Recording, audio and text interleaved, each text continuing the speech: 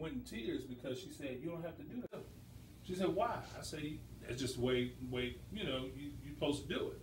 She said, "Okay, all right." I feel a whole lot better today, and that's what it is. You buy presents for people that least expect it.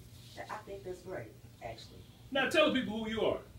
I am Latavia Roberson. Uh-huh, uh-huh, uh-huh. And you're doing in Tyler in East Texas for what? I am here because I am in the Not My Family play.